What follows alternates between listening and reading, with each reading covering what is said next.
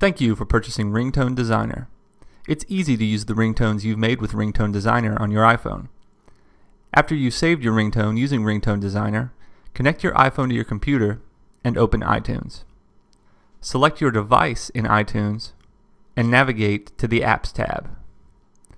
At the bottom of the page, select Ringtones from the File Sharing section. If you don't see this file sharing section or you don't see the Ringtone Designer app, don't worry. Just sync your iPhone and after the sync, this section will appear. Now select any ringtones you'd like to use on your iPhone and save those to the computer.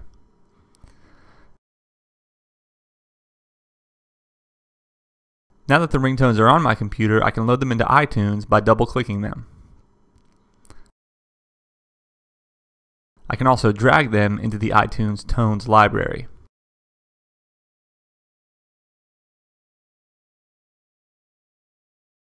If you don't see the Tones library, you can make sure it's enabled by going to iTunes Preferences and making sure the checkbox next to Show Tones is checked. To load ringtones onto the iPhone, I connect my device, make sure Sync Tones is checked and All Tones is selected under the Tones tab, and click Sync. After the sync, I can find my ringtones in Settings, Sounds, Ringtones, and select any recording as the default ringtone.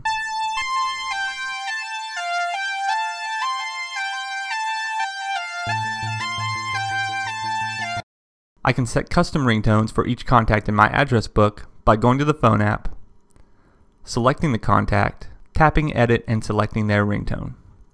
And that's how to load custom iPhone ringtones made with Ringtone Designer.